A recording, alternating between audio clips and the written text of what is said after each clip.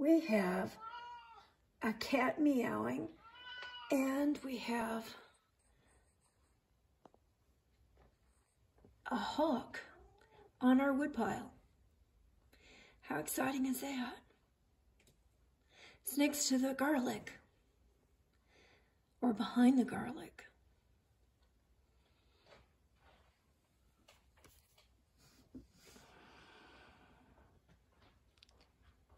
Wonder how long it's going to sit there.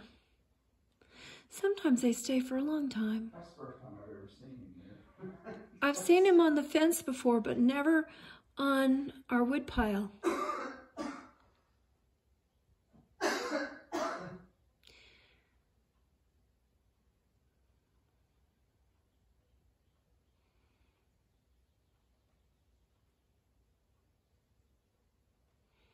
I'm not feeding birds now.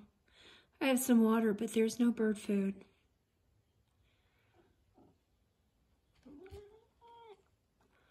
Probably has babies to feed.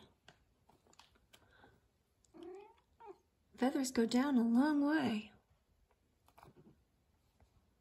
Yeah.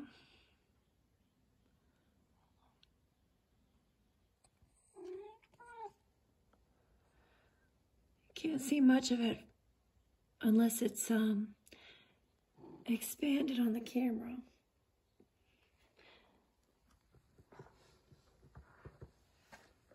Hey, what you doing down there? Yeah, people don't want to look at you. They want to look at this bird. Yeah, they do.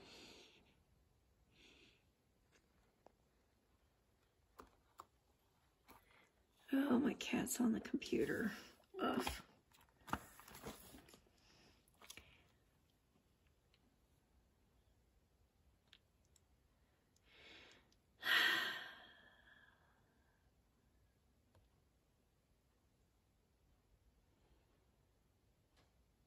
Usually they're up in the trees, they're not down below.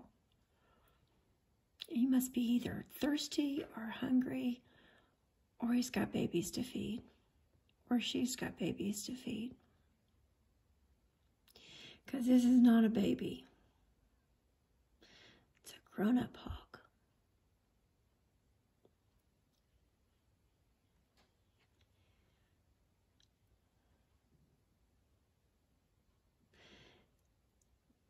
It's by the elderberry and the buckeye and in front of the peach tree.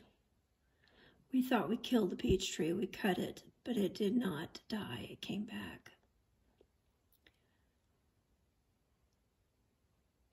Sorry about the screen.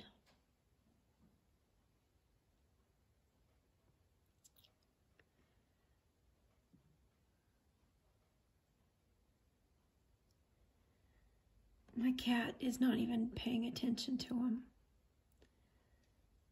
He's looking at a bug or something.